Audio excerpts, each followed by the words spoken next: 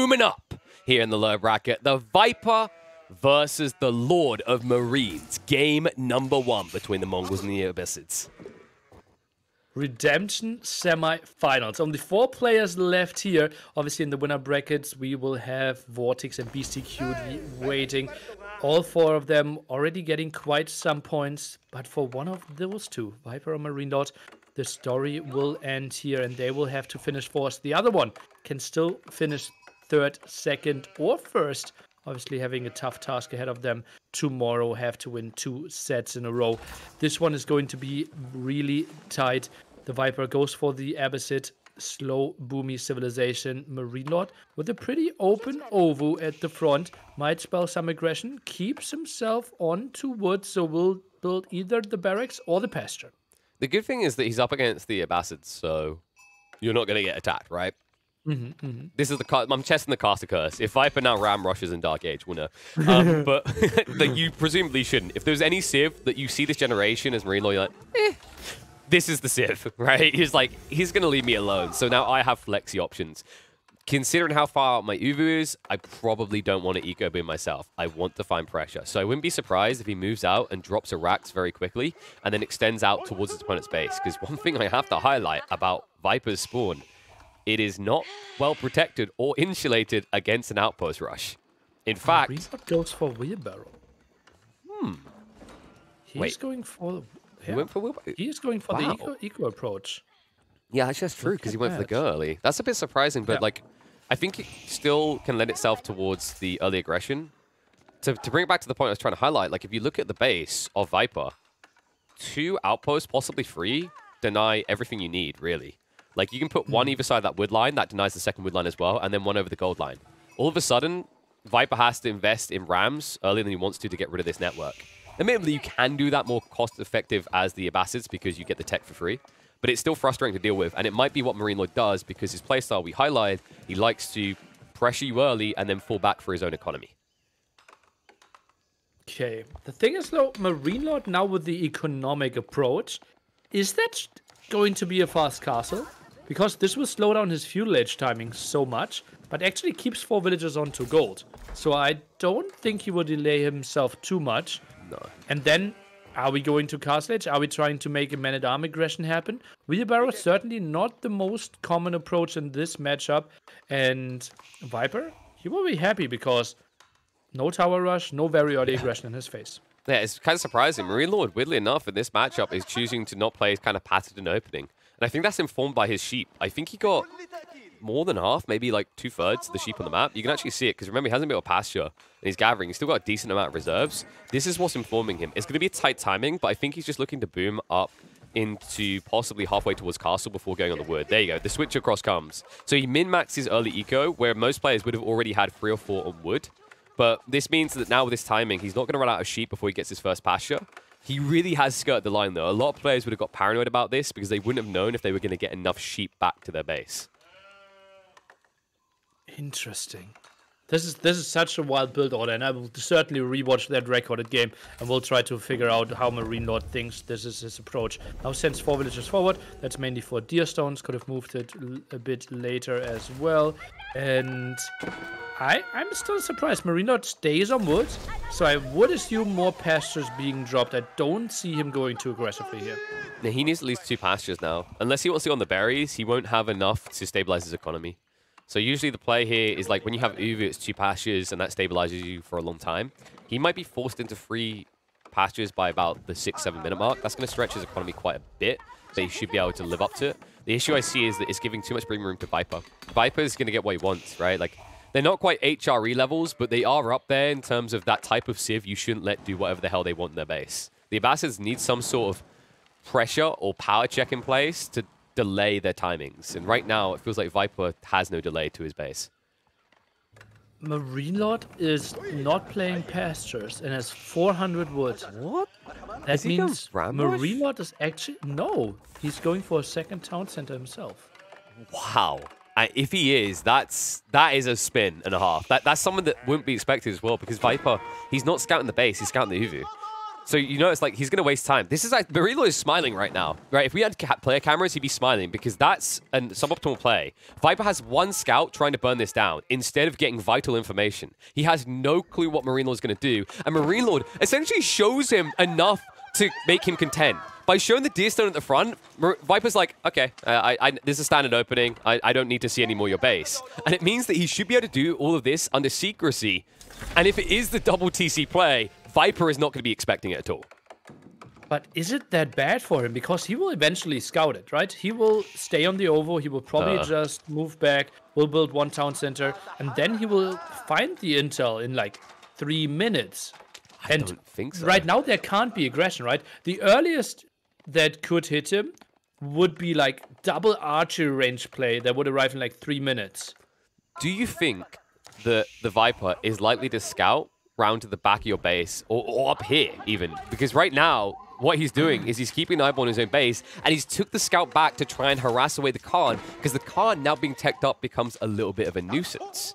So I, I, almost feel like this is baiting him. We see this so frequently when you're up against the Mongols, when you have to react to the Khan, it's a suboptimal play. You need to find trades. Instead, his one scout, his only scout, is now going to waste time, and Marine Lord, he's just got him dancing to his tune. If he follows him in a different direction, he's never seen this TC. This is now the true test of the Viper. What are his game senses? What does he think? How deep is he into this matchup? What does he get from what he scouted? Because he scouted so little, right? I wouldn't be confused if he thinks, okay, this is double archer range play. This is this or that. Double TC, not really sure if that's on his list. Typically, obviously, like both players are going for the same strategy now. Wheelbarrow, yeah, but like you don't Viper expect the strategy scout, from the Mongols. The you really Where's don't Viper's expect second it. scout? Oh, he built his extra scouts. Uh, yeah, but he has a second TC now, so he he wait until the second TC, so it doesn't delay him. Um, so it's not oh. as bad. Okay. But like if you build out the primary TC, it, it, sucks, right? Because you haven't stabilized your economy yet. But now he's going to get the info, and I think yeah, he, he's. Ooh, Khan goes down, and he sees it. He's got eyeballs on. This should pivot the strategy for Viper. This information was vital. Okay, what's the plan now? Goes for the straight away. Barracks. What? Because Why does he, he try to make something happen in Feudal Age? Because he, he has to now. He understands like the way that this now works is Marine Lord will arrive in castle quicker than him because he can scale it faster. And then he has a Steppe Redoubt and you have two TCs versus two TCs. Your villages are cheaper, but the difference is made up by the Steppe Redoubt. So for Viper, he smells weakness. He understands just how much this costs. Remember that most civs are paying 700 resources for their second TC. Marine Lord just paid 900 and his Civ doesn't get any bonuses to, to wood gathering. Uh, certainly a big investment. Obviously saved the mining camp there on stone, so a wild man could say 850 minus walking times. Feels quite balanced here with Mongols, but yeah, certainly quite a big investment there. And now archers are coming over. Viper is actually going to fake some aggression no, no, th there's, there's no fake about it. Like, he, he wants to know what's cut. Like, when you see the second scout as well, Marino now understands. He's been scouted. There's no way that two scouts on the field and they didn't see the secondary TC. And he won't get the outpost up. And that's trouble for him. He'll at least start getting the archers out. But remember that Viper already has a lead. He built double archery range and Arax. So militarily, he will be stronger in the coming minutes than Marine Lord. Two villager lead though for Marine Lord here. Now one villager lead. Let's see. Scouts are coming in. Three archers versus two archers. Marine Lord still somewhere in the queue. Some harassment and oh, it feels like Viper has to disengage here. Got quite some harassment out, but Marine Lord with a solid defense. Villager should be saved. Yeah, the villager will pull back, but once again the outpost isn't complete. And they just target each other down, but the scouts and the spears make the difference. He needs to actually prioritize the spear first. It's adding a lot of damage into this. And although Marine Lord is starting to get a reasonably healthy count of archers, Viper is still building more reinforcements back up in his base. I wouldn't be surprised as well, with the efficiency of fresh foodstuffs, he might even be able to afford an additional military structure to Zerg's opponent. I wouldn't also be surprised if we see a switch up into a stable soon from the Viper quite weird how Viper continued to build some army, and now we see the Khan being back on the field as well. Archers being micro down, Viper with quite some nice aggression. And still, the tower is not up, but more and more archers are popping. The question though, Marino, did you really want to invest all that stone into archers? Or did you maybe want to save them for some crucial attacks and Look at the numbers, they're matching each other. They're both going for Castle Age now. So after all this, the aggression goes back and forth. But Viper is no closer to winning the game in his eyes now. He understands his second TC's in play. He understands that fresh foodstuffs makes him a little bit more efficient. But he also understands that we're approaching a new phase. A phase where the Mongols reign supreme because they match your ability to build siege in the field, but they get the added benefit of a landmark that juices up their gold production by 50%. That is a huge boon when you're equal economically like this. So now Viper has to make a choice. Do I double down on the investment in military, or do I go for a third TC? A third TC right now feels suboptimal because your opponent's about to reach his power spike, and he's going to have Yam to his favor. So Viper, he's going to have to go hard into the racks. He's going to have to start producing the man at arms, and he's going to have to be fast about this move. Ah, he's setting himself up to do that. He is going for the triple barracks double archer range. Pro so production should be flying in Viper. Soon reaching Castle Age. Goes for more archers in addition to that. Quite an interesting move. Sees a lot of archers of Marine Lord. Now the fight, but Stealth Forest. Yep, working the advantage of Marine Lord. Marine Lord starts stepping back, does have the edge here. That's going to force Viper away. He'll maintain vision around this forest. He even has the Falcon if need be to maintain that vision, and he's going to chase him with a move arrow. Army is going to be wiped. Viper is prepping the new line of reinforcements, though. A stronger line. But I don't know. Can you make the difference with the men at arms? That's my concern right now because I feel like if you're going man at arms here, you're playing into Marine Lord's strengths because he can build them too. The difference being that he will get Yam movement speed. Uh, let's take a look about that. Right now, he doesn't have the greatest amount of towers in the center. Certainly needs one, two in the Stealth Forest there. Nice sneaky tower. Not sure if Viper will be able to reach the villager. At least he could pull some. Now some raid against the villagers here. And Viper not the greatest control. Now tries to get some upgrades. Double blacksmith setup. Yeah, he knows he needs the tech advantage. We just like I just highlight the difference, right? The Yam movement speed gives an edge to your opponent. So if you're playing mirror pieces, right, with the archers and then the man at arms, you need every crying battle cry you can get, right? Everything in your favor, basically. I don't know why it's a crying battle cry, but it is. Nice know on this outpost, though. This is important. The movement speed is really what's going to break this game, especially considering Marine Lord can beat your composition, and he can do anything you can do, but slightly better with these towers in place. Hmm. Let's take a look. Man-at-arm count. Okay-ish for now. And we see Marine Lord going for two as well. Only one crossbow himself. Viper should easily be defending this one. The question is, though, who's scaling better? Both with two TCs. Economy wow. should be similar. And we also had improved siege engineering.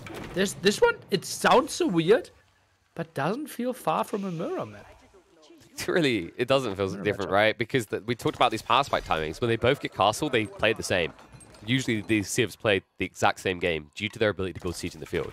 The problem is, of course, that the Mongols have a natural edge there because of the YAM network. However, if you're quick and more efficient with your economy, you can afford these Mangonels ahead of your opponent, and that's the difference maker. The issue, however, that I see is because Marine Lord went into archers heavily, you can't counterfeit your building force in your front line. You can't go for spears, you need to get man-at-arms in the front line, and they're a lot more pricey. I think if these archers weren't here, Viper would have a clear edge right now because he would just Zerg Spearmen that get Phalanx, so they're more effective than their opponent, and he would also have surplus resources to build additional siege over that of Marine Lord. But as it stands, M Lord's economy is a little bit stronger, and it means that he should keep siege advantage in the next coming minutes. Now first Imam coming out as well, tries to get some of, or Shaman, tries to get some of that relic control. Viper now goes for fast production, mainly crossbows. No more military production by Marine Lord, floating quite some resources.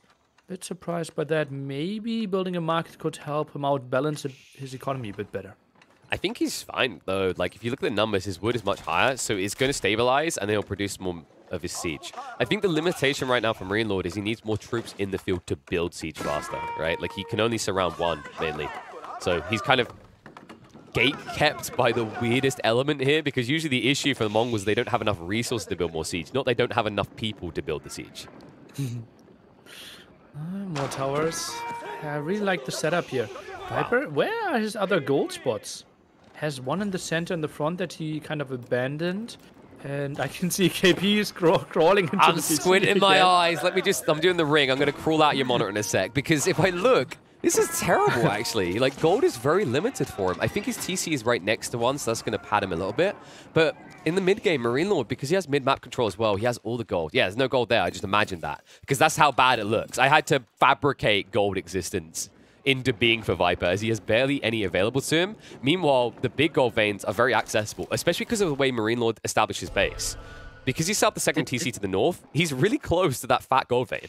So it won't take him long to shift in position.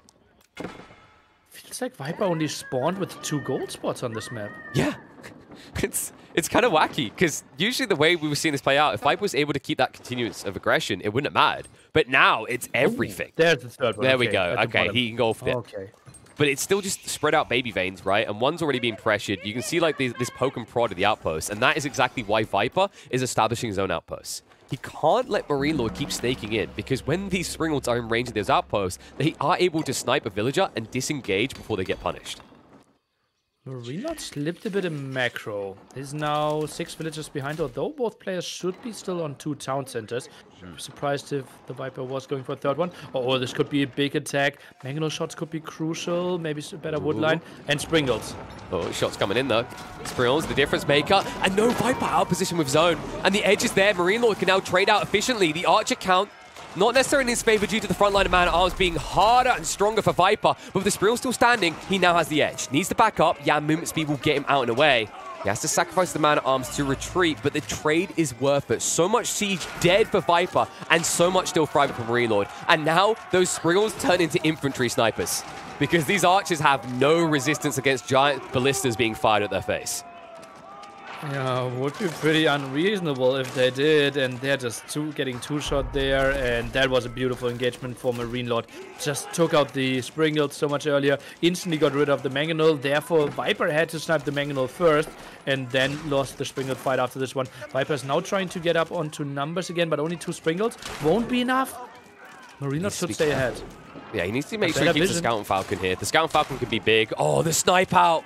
Getting rid of him before Springald can find value. in the Mangonel, that's going to force Viper away. Instead, he goes in, though. Sees an opportunity to snipe out one to the Springalds. But he cannot access the Mangonel. It's protected. The archers are surrounded it. The Mangonel will fire at the ranged battalion on the other side. And although the man-at-arms take a lot of shots to die, there is enough archers here to clean them up. Crossbow count was simply pretty low. Normally you have crossbows behind the siege, but it's mainly archers, and that's why those men-at-arms are so efficient. Viper, with the beautiful judge of the situation, found quite some army, but still the loser of this fight, Springald Tower there, still doing quite some damage. But Marine Lord, master of that hill, at least for now. Yeah, he's going to lay claim to it, and also the relic next to it as he starts to just juice his economy up. Now that's going to be the third one in his banking, and you can always see Marine Lord He's looking to open a Swiss bank account. Over 2,000 surplus gold and wood, in fact. So a lot more comfortable with the sea trade. Viper, on the other hand, is drained dry. He's going to run out of wood and gold fast. Those are the things that we highlight, and he's really not gathering enough of it as it currently stands. Well. the resource of Marine Lord. That's Could what I mean. solid eight more Springalds on the map. Oh, goddy, goddy, goddy, goddy. He got it. He could just rebuild, rebuild, rebuild, right? Like he's just like, okay, now we've traded. I'm just going to build a dozen more. But it seems for some reason he didn't want to peel back at any point, and it means that Viper can go on the aggressive, but his limitation is he doesn't have the wood to instantly build siege, unlike Marine Lord, who has fallen back to set up traps. Viper is 20 pop ahead, after it was even for such a long time. I'm really surprised, and again, Marine Lord with a very early prayer tent, got quite some control. Viper only down by one, and now the big tech switch. Oh. Is this Lance or is this, or is this, this Horseman? This should be Lancers. There's no reason to not build Lancers. Your opponent has been forced to respond with Man-at-Arms and Archers because of the composition you've done. Viper, if we check his vision, he has a scout around the back. I don't know if he's going to see this, though. It's critical that he gets the information. That's actually a man-at-arms attack, so he will not see this at all. He'll be too busy braiding, and it means Marine Lord might be able to reach a critical mass of Lancers to win the central fight. Horseman upgrade for now. And look at that, 900 stone as well. Marine Lord, he could go for a wild composition here. Still didn't decide, still didn't queue up anything. Viper now getting some sacred side control for himself. Viper just barely not scouting it. Still no commitment by Marine Lord. Does he want to go in first? No, it's it's the full horseman play. It's yeah, it's kind though. of perplexing to look at, right? Like all that wood, it's like where did the wood go? all this gold and, um, and, food, you're like, is he thinking about it? But no, there you go. It's going to be the horseman, so he just wants to body his opponent. It's a solid solution actually. Like the lancers are nice, but the horsemen are faster, and also they take less time to produce, so you're able to reach that critical mass quicker. I think Marine Lord is playing on vision to get a big edge in the initial fight that just dominates the game. Like, if he does this correctly and it isn't spotted and he gets up like 15 horsemen without Viper knowing, Viper isn't going to have time to transition. However, Viper he has at least got some spears. Up to Yes. seven right now. Yeah, and in another volley in the queue there, as you can see, four more coming out. He knows exactly, wow, okay, my army would be vulnerable to lancers or horsemen, even more horsemen. And that's why I transition and already set myself up. Now 100 villagers to 80 villagers. Whoops. Gets a snipe there against the trap. Viper with some beautiful moves and some nice anticipation. Yeah, these are poopy traps, not big boy traps. 13 tile range instead of 16, so easily snipeable if you're not paying attention. A little bit less pricey, but I, I feel like I'd rather pay the full price. Honestly, if, if Mongol players could build counterweight trebuchets instead, they would. They're just so much better. A frustrating situation as there's just a freebie being traded out and the fight in the center, this would not be good for Marine Lord. Marine Lord is wrapping around right now, but the Mangonels need to find bang for buck to be forced to retreat, and you see the numbers not in his favor. The Horsemen go, go for the raid, but Viper is so strong economically, he will care little here. Mangonel forced to fire again. Shots out onto the archers at the back here, trying to hold the front line so they don't get access to the single Mangonel. And Marine Lord living on a hope and prayer here, but the Springalds will take it out. Trays in the end of the siege lines will go the way of Marine Lord, but the front lines are the difference here. And Marine Lord, because he switched into the crossbows now, he's getting those favorable trades. With a 50-50 split of archers and crossbows, he can clean up the front line and still have the edge courtesy of all these outposts with upgraded spring. What a beautiful engagement here by the Viper. Was lacking some units at some point, but still good, took the good fight. Both now reset on siege count, kind of. Oh still a bit left for the Viper, and big raids coming in, but Spearman there for the defense as well. Viper will be fine, and still a solid 20 population lead. More towers, more horsemen being wasted against the Spearman, though.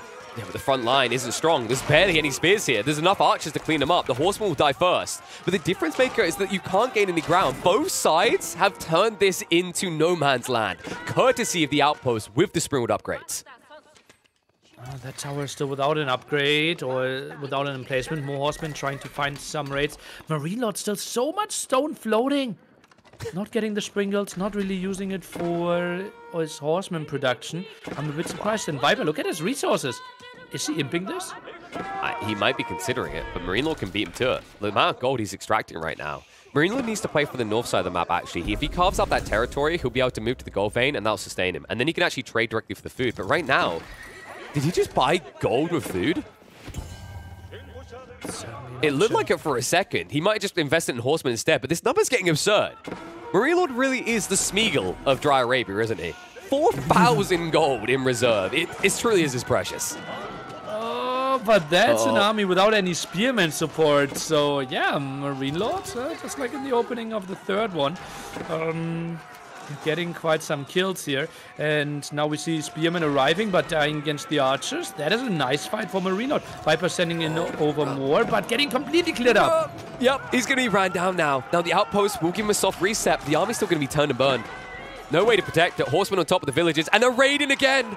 And the spearmen too slow to pursue. They'll shift past, go deeper, and there's plenty of blue shirts to attack here. It feels like it should be the other way around if we're Star Trek fans, because really these are the expendables. They just die so easily, and Viper is fully exposed. He never protected himself. He never walled on the north and south side. Uh-oh, um, tries to go for more towers, and that's something that BC Cutie, for example, would play completely differently, right? You know he would have walled up bottom, would have walled up the side, would not allow those horseman raids to come in, and then maybe had his spearman better to protect the center. Viper was 30 pop ahead, now he's slightly behind, still trying to put out some fires, but Marino is getting in beautiful raids, and now a defensive keep here for Viper. He wants this to stop. Viper is like, will this be the one that my teammate usually drops, or will this be a very good keep? We'll find out. A lot of villagers coming out. No Mangonels in position to counter them. And that means it's likely to go up. Only one Trebuchet. Marine Lord distracted for the moment. The Horseman out of position and slowly riding across in an intimidating formation there. Instead of charging in, they'll finally move forward. But the keep should be established. Central control will be reconvened by Viper. But what will be the price? There's not enough room for the villagers by the looks of it. Some of them are going to go down as he hasn't even garrisoned yet. More eco units being hemorrhaged by the snake.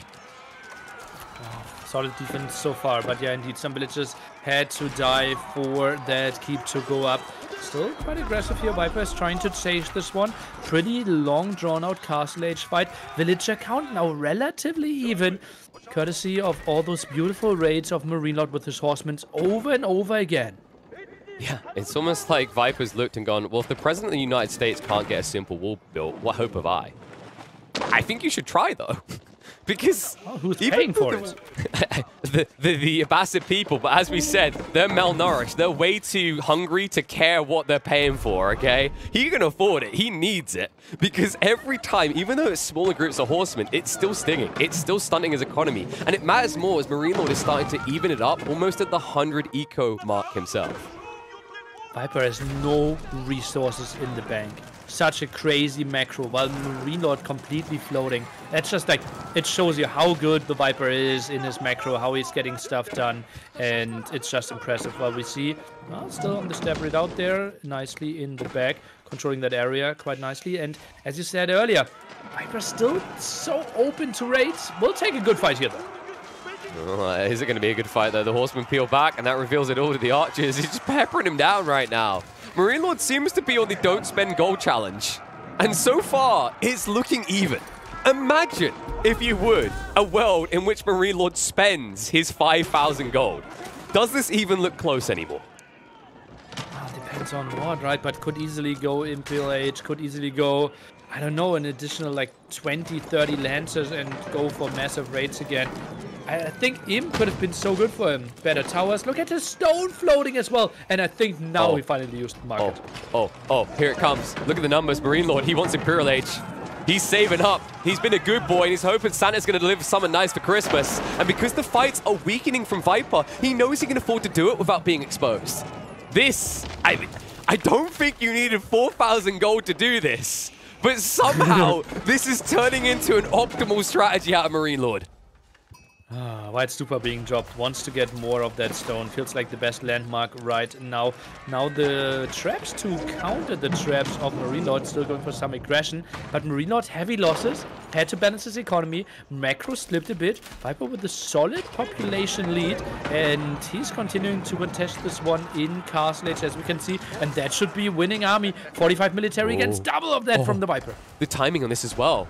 He's going to run in and spot the tech up because there's no outposts here. He was rebuilding them. There's a breach point. He needs to be fast, though. The weakness of what Viper's done here is because he's playing the Abbasids, he cannot build Trebs in the field. So he doesn't have long-range siege, but he does have the ability to Zerg Mangonels. He just needs to sort his eco to do so. Strong force for the moment. Counter Mangonel's coming out, and this is the weakness. You're in a matchup where Siege dictates everything, and still, all this time, Marine Lord maintains that lead, and now he's going to have a clear, economical, and technological lead, because straight into the tech up, Shudder triggers improved means that your Springalds cannot counter it. Now, Viper is the one who needs to transition. Now, he is the one who needs to discover that technology called horses. Oh, those traps pretty ambitious at the front. That army still not upgraded. So what are we really going to achieve with that one? Viper still feels like he can take some of those fights. and that army looks scary.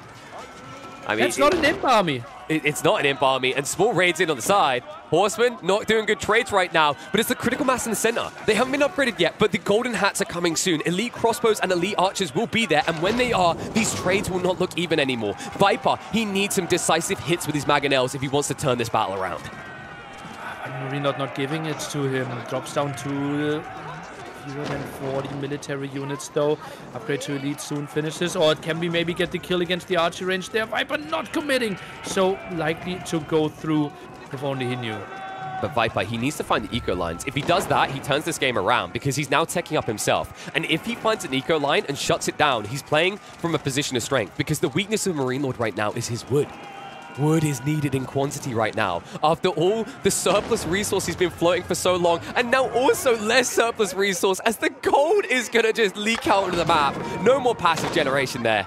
And he's found it as well. This is perfect from Viper. Moves through, outpost being targeted down. We'll get rid of them and force the villagers away. Marine Lord's economy is grinding to a whole a fragile state. He's probably going to have to buy into the wood just to get the siege necessary to deal with this plumped infantry formation. This is so risky. At the edge of the map. they can't get further off the map than this.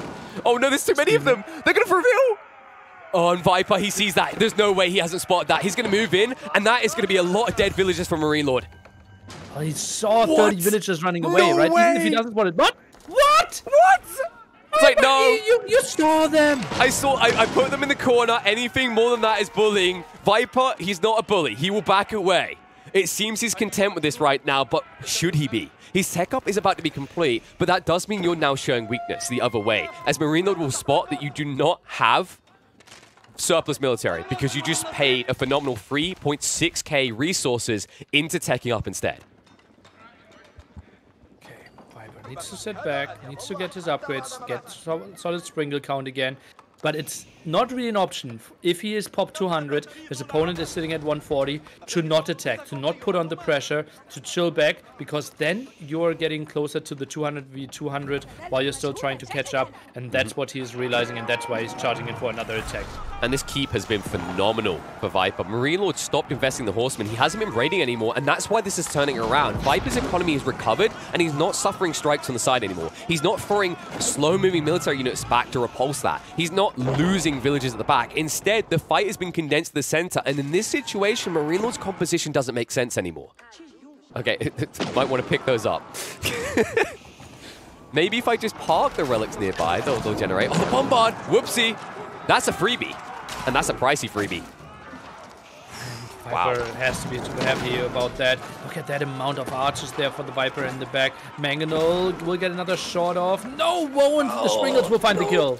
And the archers are now coming out. And you know what the difference maker is? Viper, I can't believe I'm about to say this, but composite bow technology might be a game winner here. Because they're both playing heavy archer compositions.